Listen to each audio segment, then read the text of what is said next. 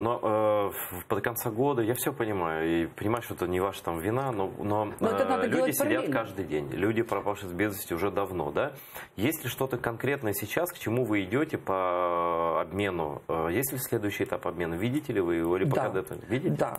Значит, э, ну, за эти две- два вот тура переговоров э, мы отклонили э, ту стратегию, которую нам была предложена ОБСЕ.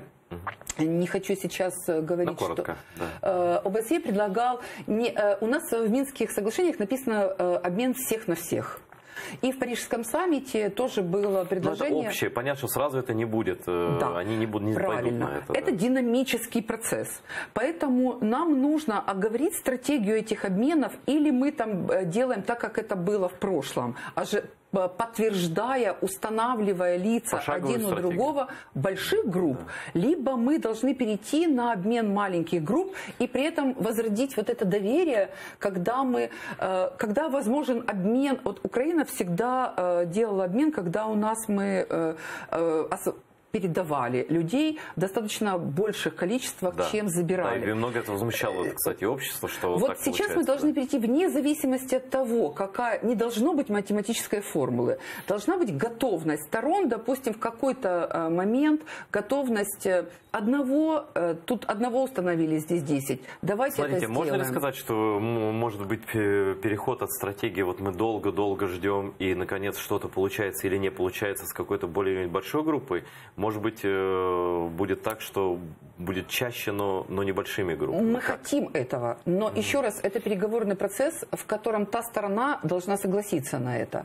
И при этом есть э, разные, разный обмен, потому что вы же знаете, что территория управляется из Москвы, и удерживаемые лица есть как российского гражданска- гражданства, так и э, люди, которые проживают на неподконтрольных территориях, которых они запрашивают. Да. Запрашивают, кстати, далеко не всех.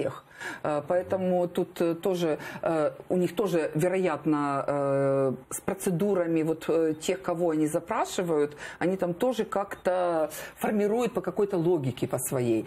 Поэтому эм, разговоры, динамика разговора совершенно разная по отношению к этим лицам.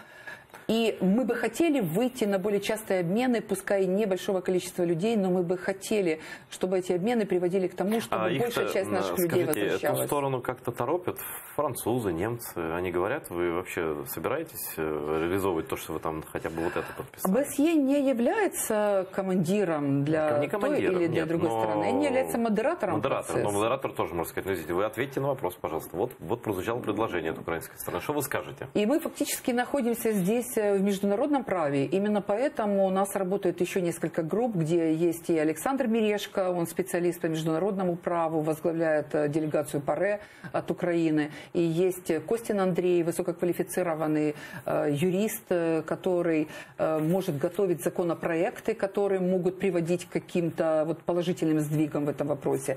Я могу сейчас только сказать, что мы очень активно в этот э, процесс вклинились. Я думаю, недаром э, у пана Грызлова э, со стороны Российской Федерации э, вдруг возникло желание поменять э, состав украинской делегации.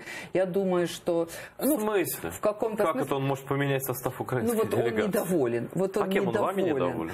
Кем Ну, он недоволен? он не назвал конкретно фамилии, но в прессе, в той, ну, которую мы отслеживаем, поскольку находимся в этом процессе, такие высказывания были.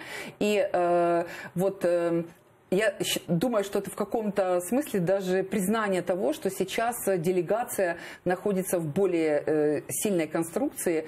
И мне кажется, что мы даже в какой-то мере захватили инициативу по некоторым вопросам.